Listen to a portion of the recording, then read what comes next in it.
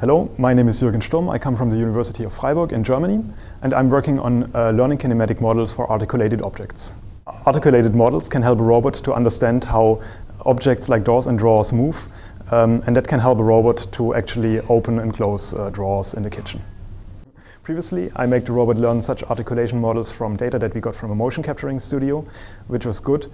Um, but now we want the robot to be able to learn these models with the sensors that it has on board. Uh, the robot has a stereo camera on its head with which it can um, record um, a scene in front of it. And from that it can extract point clouds.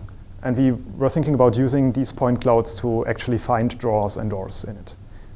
In our first approach, we segmented out planes from the point clouds that we got from the stereo camera. And uh, within the planes, we looked for edges using a Canny operator, uh, then looked for lines using a Hough transform, and uh, from that, we got intersections of, of pairs of lines and uh, used chamfer matching to find the, the pose of a rectangle. This approach was pretty complicated, and it turned out that it didn't work too well for doors. So we came up with a second idea.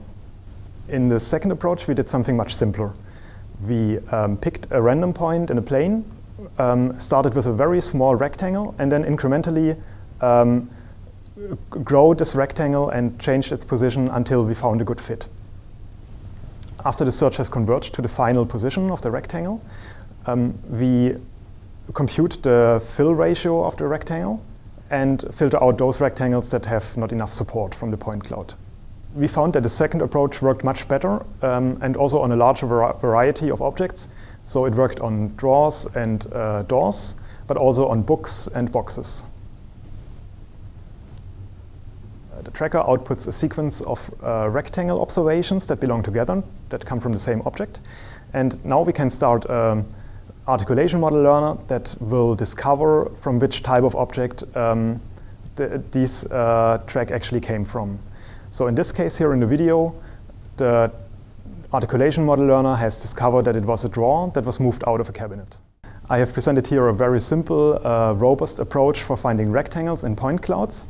This is still ongoing work. We will publish a paper on this shortly. In the meantime, you can check out the software package called Planar Objects in ROS, which is freely available as open source.